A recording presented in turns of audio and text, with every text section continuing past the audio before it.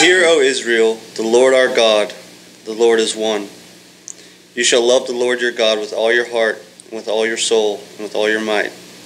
And these words that I command you today shall be on your heart. You shall teach them diligently to your children, and shall talk of them when you sit in your house, and when you walk by the way, and when you lie down, and when you rise. You shall bind them as a sign on your hand, and they shall be as frontlets between your eyes. You shall write them on the doorpost of your house and on your gates. There's this show on NBC. I'm sure a lot of you have uh, heard of it before. If not, it's, it's called the the American Ninja Warrior. The, the, the it's called the American Ninja Warrior. It's on NBC. It's probably in about its eighth or ninth season, I think so. But this show, what happens is is contestants from all over the United States. Uh, they come together uh, with one goal in mind. They want to be the next uh, American Ninja Warrior. And they go through all these obstacle courses, and the obstacle courses um, uh, get harder and harder as they move on uh, to the next level. At first, there's hundreds, and, and, it's, and it's dwindled down. Some of these are so uh, devoted to uh, this task, to this this goal that they're obsessed with. They have in their homes, a lot of them have made uh, um, replicas of these obstacle courses so that they can train. They, they are very uh, single minded and, and focused on, uh, on being that, that, that uh, American Ninja warrior. In the qualifying round, um, it's set up so that uh, there's only 30 people that make it uh, to, to Vegas. That's the next round. That's and and these 30 people, they have to not only have the fastest time, but they have to make it through the course. If if you fall or you mess up on an obstacle, there's a big pull to catch you, and and and once you're done, you're out. And you can see some of these people, they're devastated because they put so much into this. They've been so focused on it that uh, they're devastated. And not only uh, do you have to make it through, but you've got to have one of the 30 best times in order to qualify for the next round. Just like uh, these athletes, these great athletes, have this single goal. We too have a, a sole uh, goal. We have a, a single goal. Not only as Christians, but really every human being on the face of this earth, past, present, and future, have one goal, whether they realize it or not. This goal demands the same single mindedness that these athletes dedicate themselves to. And so that's our, uh, that's our topic this morning. We are in chapter 14 of the Believe series.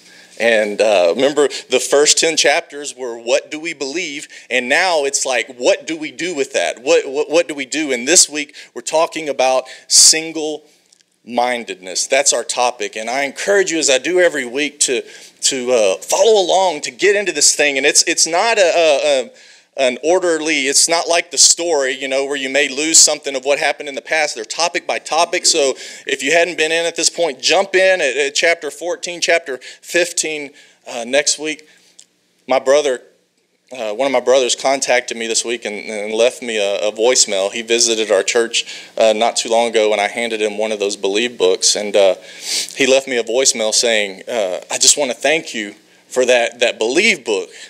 I struggle in my in my Bible reading, and this is so simple and and and uh, helps me to understand the Bible even more." And so I encourage you to get into it. There's some exciting stuff uh, going on here, and it's, and it's topic by topic. This week, we're talking about single mindedness. Single mindedness, having or showing a, a single aim or purpose. It's being dedicated to something, it's, it's uh, resolute, it's, it's, it's steadfastness, it's a determination. And this is the attitude that God, as we heard in that passage that Joel read to us out of Deuteronomy, this is the attitude that God called the, the nation of Israel to have as his people. He called them out of Egypt. They're in the wilderness, and he is forming right? He is about to form his people. He's about to take them into, a prom- into the promised land and they are going to be his people, his nation, uh, his light unto the world, the people that would worship him. And this is what he's telling Israel that I require of you. It's the same resolve that he calls us as New Testament Christians, as his children, as followers of Jesus to have as well. He says to Israel, He says, The Lord, your God, the Lord is one.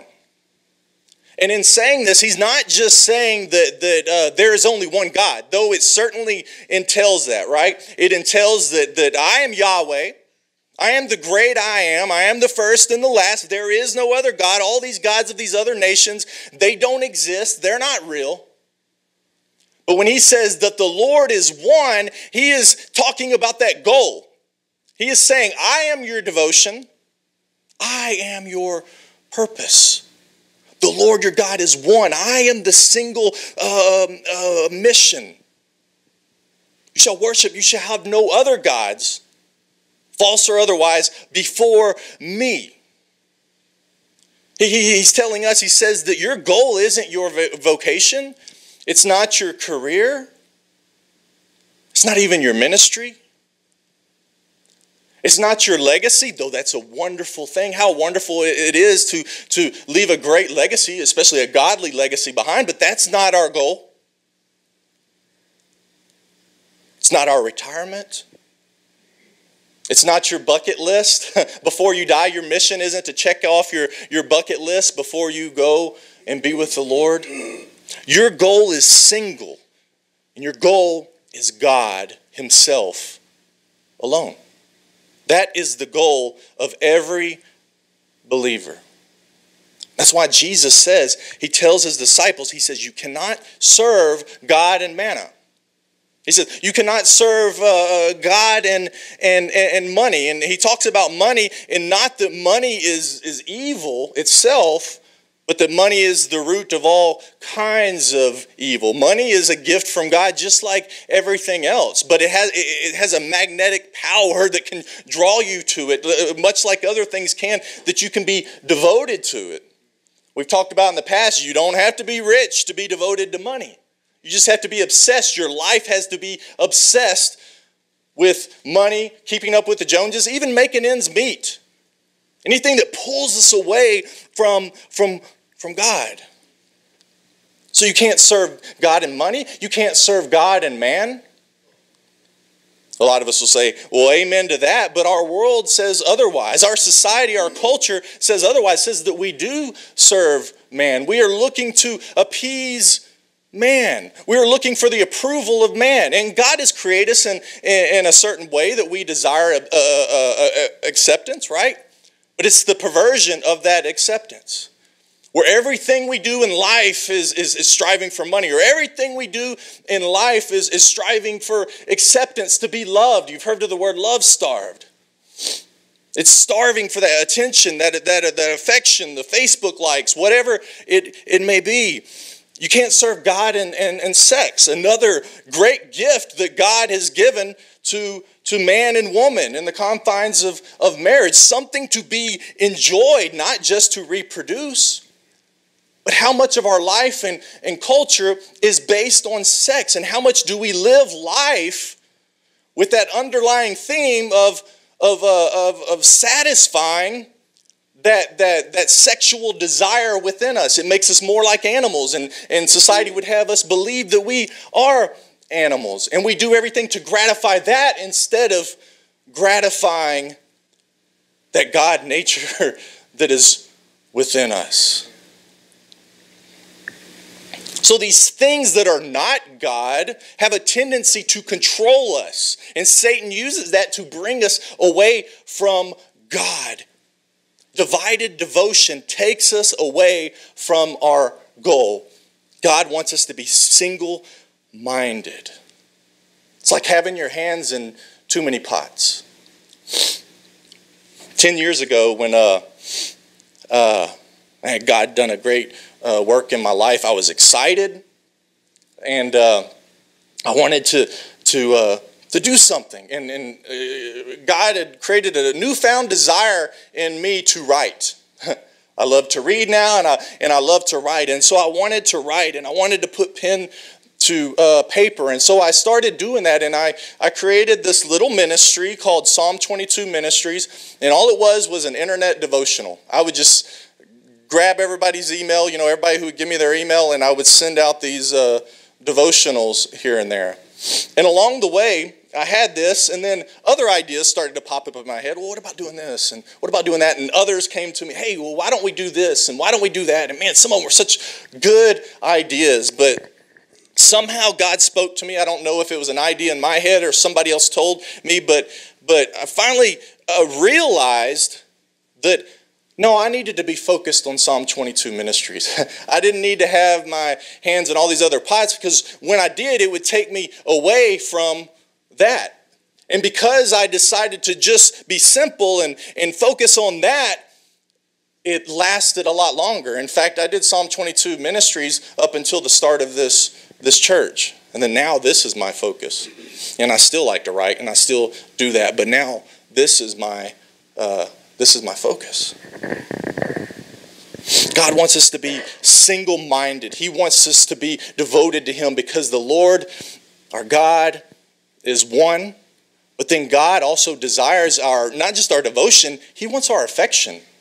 Did you know that? He wants our he wants our emotions. He gave us those emotions for a, a purpose, and he wants our and desires our uh, affections. He says, "Love the Lord God with all of your heart, with all of your soul, with all of your might, Israel, with all of your strength, children of God.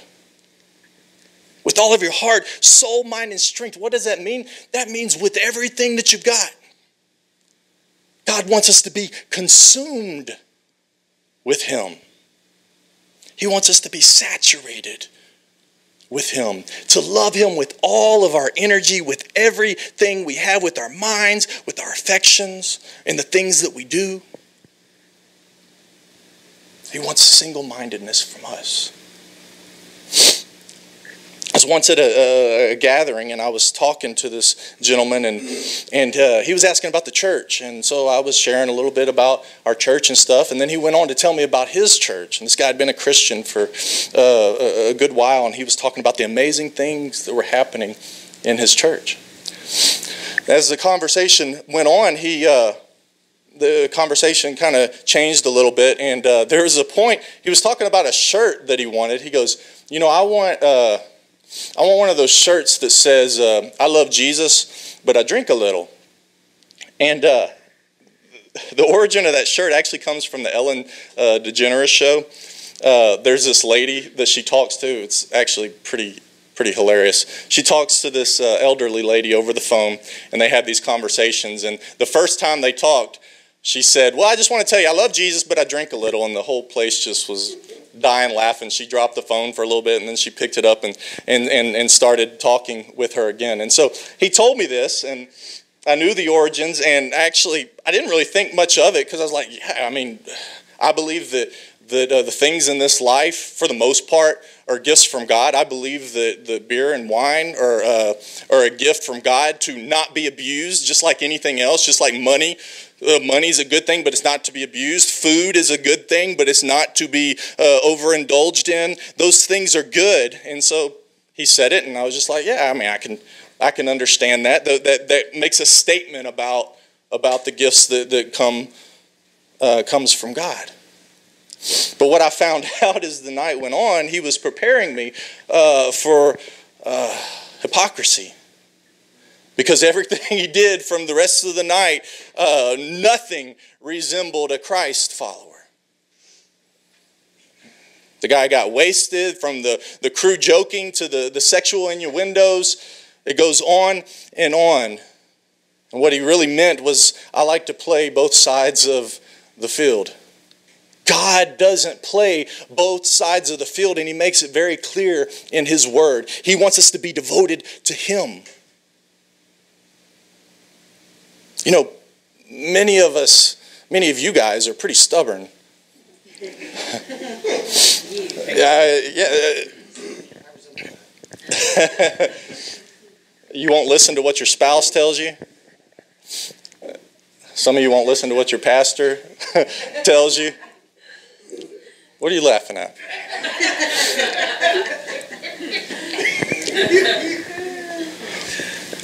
Israel was very stubborn. if we're going to be stubborn about something, let's be stubborn about God. Let's be stubborn in our resolve. You know, we, we, we're, we're so resolved in our, in our sin because we don't want to budge because when, it's, when, when light shines on it, it makes us angry. It makes us upset and we harden our hearts. How about we be stubborn in our resolve to follow Jesus?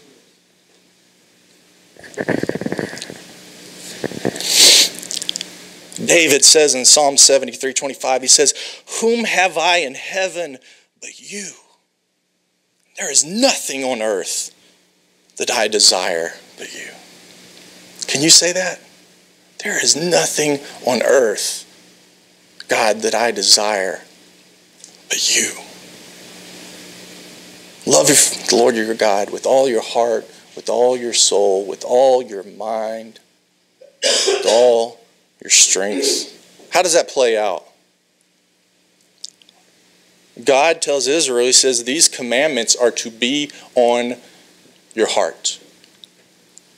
Uh, he says that they, which this is passed along to us, we are to impress them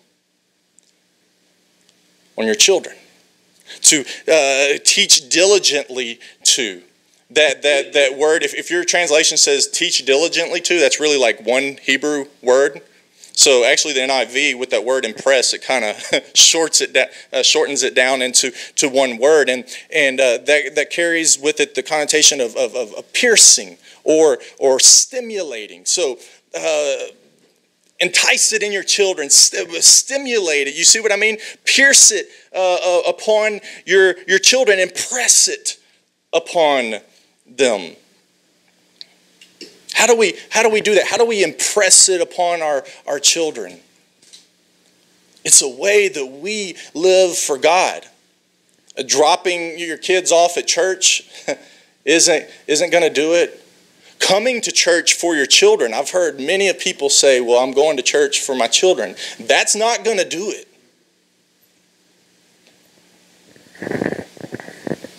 Going to church for your kids is not going to do it. It has to be a part of you.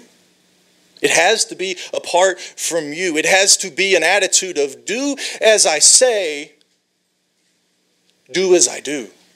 Not a do as I say, don't do as I do because our children see our hypocrisy. They see it in us. They're watching us. And if we say we love Jesus and that's not evident in our lives, they're going to see that. You understand? We can't say this is good for you, but not for me. That's messed up. It's good for you because it's good for me. Watch me as I follow Jesus. Even when I mess up and, and I repent and I confess it to you, watch me as I follow Jesus. And I'm not perfect, but on my heart, I want to, I want to live for God. Impress it upon your, your children, he says to Israel. God says, uh, talk of these uh, commandments when you sit down, when you walk, when you lie down, when you get up. What's that mean? It's kind of like the, the heart, soul, mind, and strength. It's like in everything you do, let, let Jesus be on your lips. Hebrews 13, 15. Through him, through Jesus, then let us continually offer up a sacrifice of praise to God.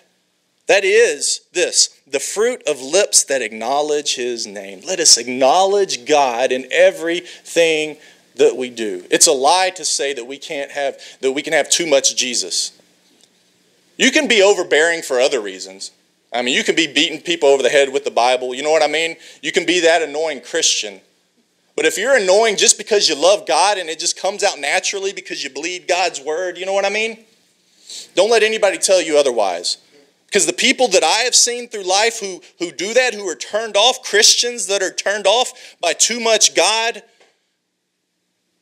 there's some point where their faith and their walk usually wanes. Don't follow after that. Don't believe those lies.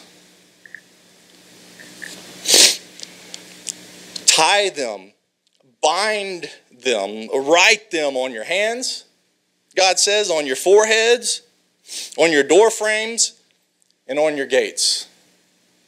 What's he mean by that? You ever seen a, ultra orthodox Jew? Any of you ever seen that?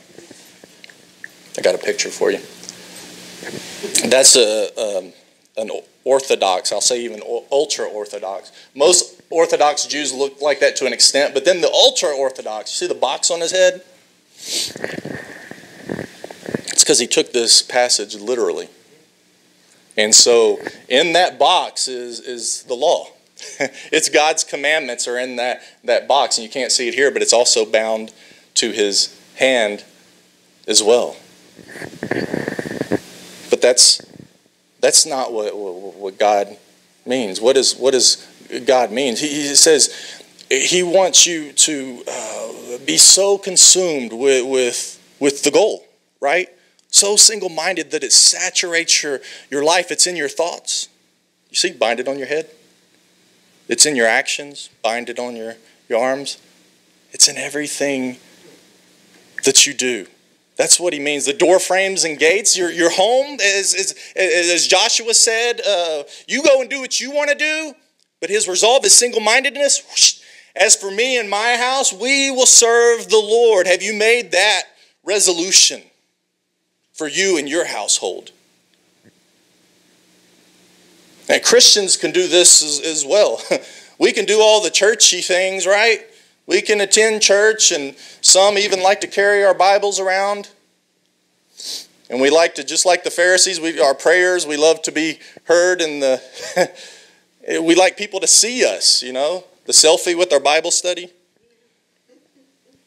I'm not, not saying that's always wrong, it's, it's, it's, it's a heart issue, but we can do the same thing. God is looking inside of us, and that's what he means here. That's what he means here.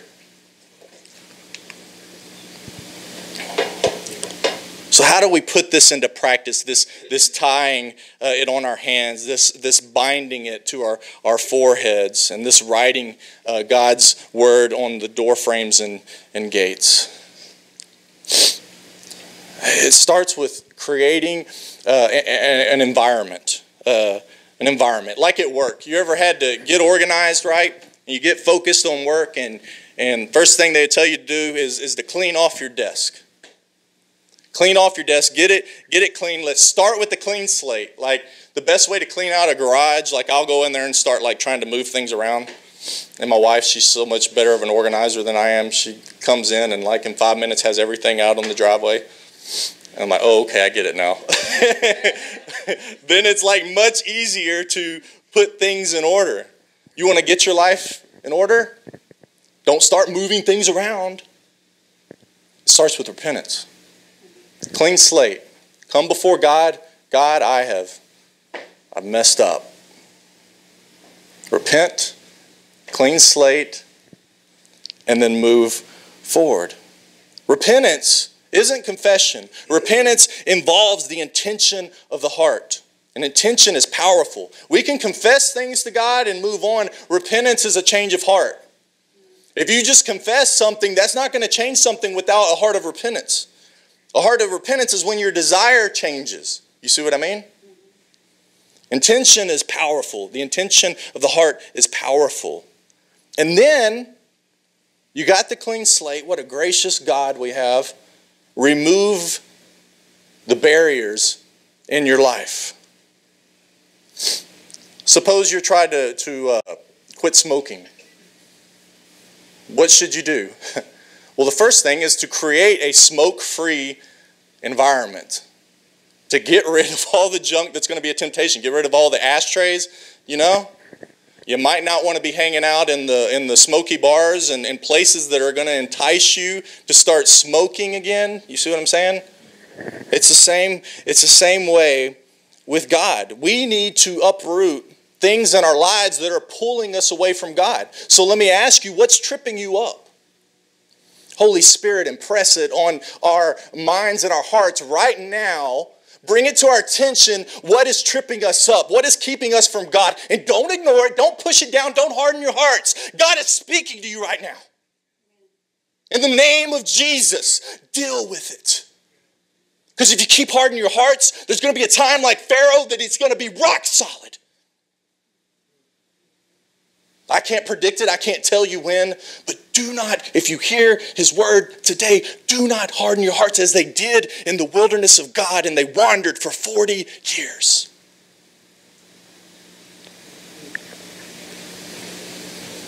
Amen.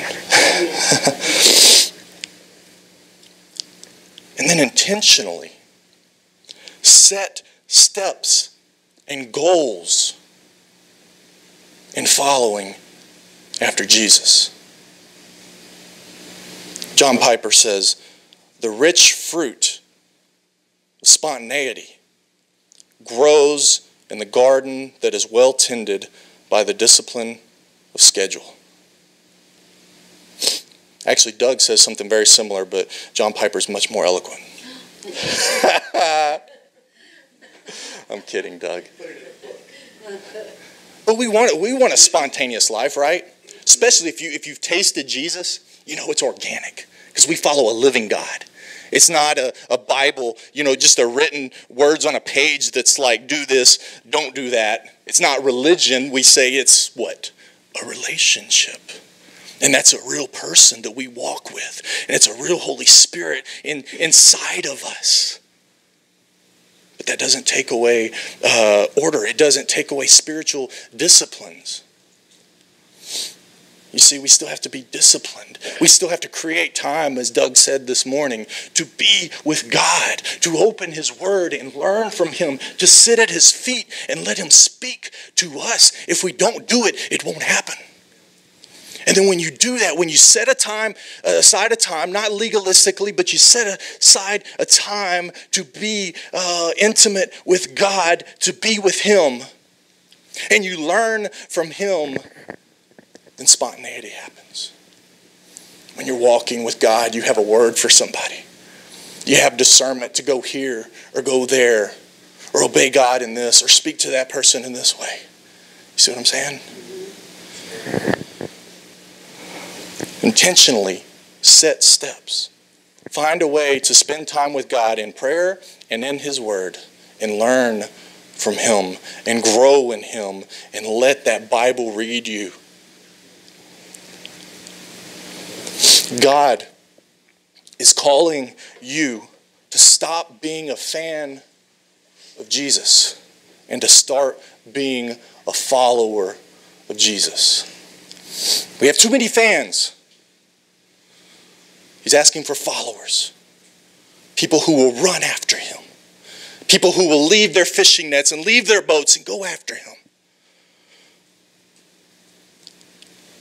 We might not be the most popular with our family members, with our coworkers, with our friends. But we got to be okay with that. Are you okay with that? Are you okay with leaving everything behind? Jesus said, in all the words of, of uh, my burden is light, he said, Count the cost when you follow me. Count the cost. Are you willing to leave everything and come after me?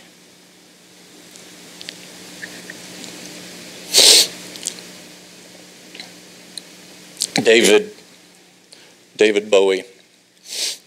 Um, many, if you, if you know who he is, I think probably even those who aren't a fan of of uh, his work knew that he he uh, he passed away recently. Died uh, recently. David Bowie was um, devoted and single-minded to his craft as an artist. Uh, whether you like him or, or not, he was pretty flamboyant. Uh, he, in fact, he's the one who inspired uh, uh glam, uh, glam rock, and so that involved, you know, some cross-dressing and some, some crazy stuff as well. But he, he was an artist, and he was devoted to that artistry, and he inspired lots of people. He inspired lots of musicians in their craft because of his single-mindedness to what he did.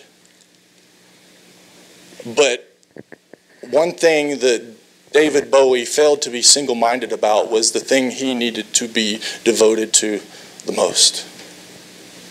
When asked about his faith, he said, For a while, uh, I followed Tibetan Buddhism, and that didn't really work. And then I followed after uh, uh, Nietzsche. Nietzsche, is that how you say it? Nietzsche. Yeah, actually, I think it's Nietzsche. Uh, I, I, did a, uh, I did a, uh, a sound off to practice that name, and I think it, I've always said Nietzsche too. Nietzsche, Nietzsche. I followed Satanism. I had a, a bout with Christianity, and none of them ever seemed to work. So he went through life just kind of wandering, never really seeking and, and finding. Let me ask you this morning have you set your sights on Jesus? Have you found what you're looking for in Jesus Christ? Let me set you free to do what God says, to follow him with all your heart, soul, mind, and strength. Let me, let me set you free to follow Jesus. Because the truth is, is you can't love Jesus like this. You can't love God the Father like this. With all your heart, with all your soul, with all your mind, with all your strength. If you're sitting there thinking, I have done that.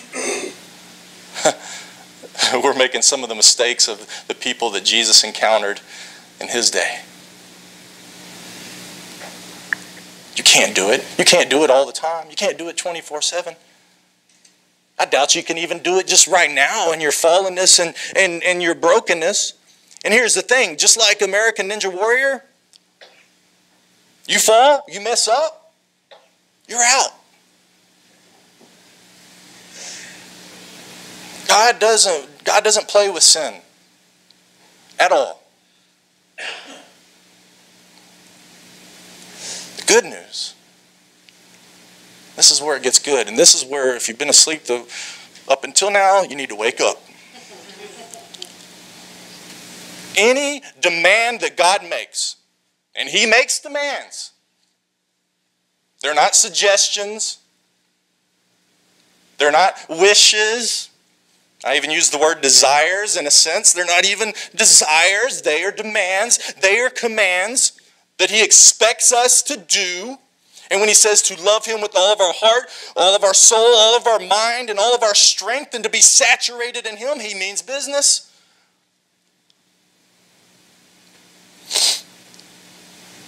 But any demand that God makes, He already met in Jesus Christ.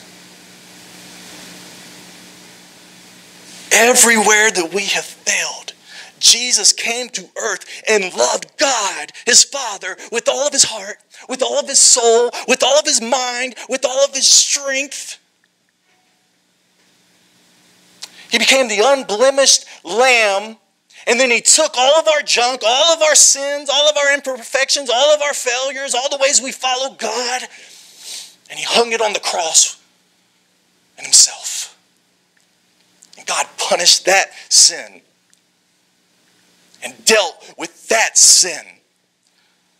That anybody who would call upon the name of Jesus as Lord would be saved, not as our works and our good deeds and our righteousness, but by His righteousness alone.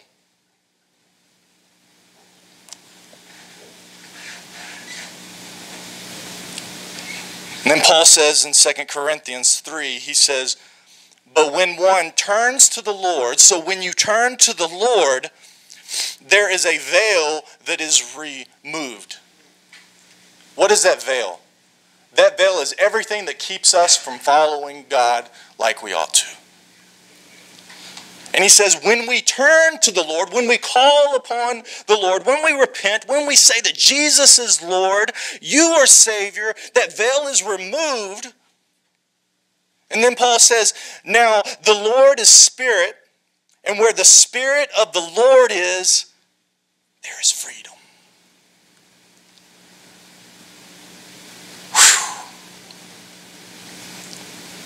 And we all, if you have done that, if you've called upon the name of the Lord Jesus, and we all, with unveiled face, listen to that, child of God, unveiled face, the barrier has been removed. Beholding the glory of God are being transformed into the same image of Jesus from one degree of glory to another. And listen to this for this comes from the Lord who is the Spirit. Oh, that's good. That's good. You know what this is saying? He does it all. Trust Jesus. He does it all. Trust Jesus. Abide in me, Jesus says. For apart from me, you can do nothing. Our job is to abide. When I'm calling you to be single minded, when I'm calling you to devote, I am calling you to abide. Because it is even God that he, he not only did the work for us, He is doing the work in us. But our job is to abide. Not to grieve the Holy Spirit, which Paul points out it is very possible to do when we ignore the work of God in us. God has set you free to live for Him. Only through Jesus can we be set free to love God. It's the only way. I'm the way, the truth, and the life. No one comes to the Father but by me. Through Jesus, we are set free to love God the way that we should. But unlike the TV show, right? As God's warriors, when we mess up, we get to get back up again. We're not disqualified. We fall in that water, climb back up, and get going again. That's the beauty of the gospel. But there is a goal to be moving toward. We are running a race. We have a, a, a mission, and Jesus is our goal. And He is what we are running towards. Keep your eyes on Him. But get this we love Him, we love God because He first loved us.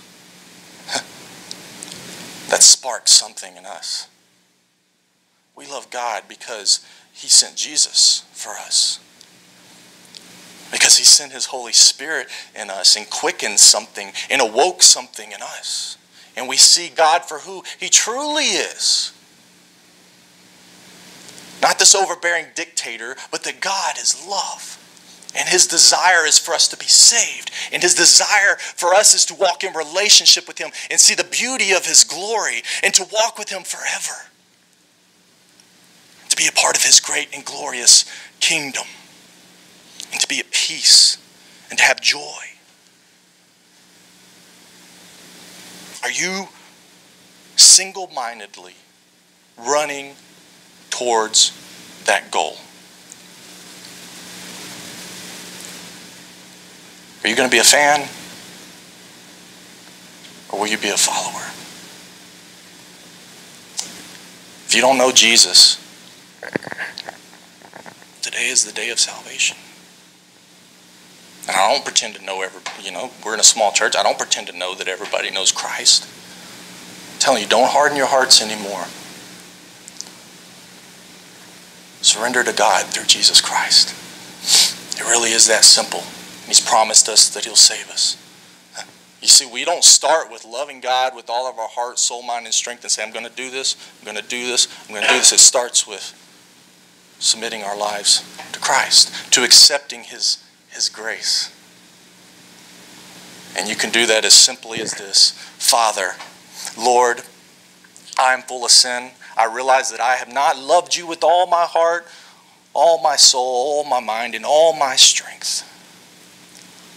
I realize that it is impossible for me. I realize that I've failed time and time again. I've ignored you, I've rebelled you, God. But thank you so much for loving me despite that, for counting me worthy for sending Jesus, if for only me, God. So I thank you for the gift of Christ, that He is Lord of all, Lord. And I position myself under His reign. Thank you for saving me. Thank you for your grace. In Jesus' name, amen. If you believe that Jesus is Lord, Bible promises you that you will be saved.